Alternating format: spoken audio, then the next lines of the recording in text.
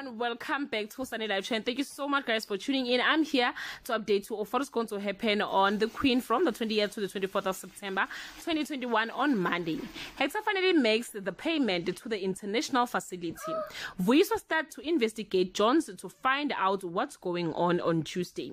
Vuyiswa cannot hold it anymore and spill the beans. Brutus handles things his own way on Wednesday. Hector throws a spanner in the works in Dorothy and John's plan by announcing that he's going to the overseas rehab facility with them. The Khozas find out who's behind the hijacking on Thursday. Shaka makes a promise to deal with the Sitholes decisively.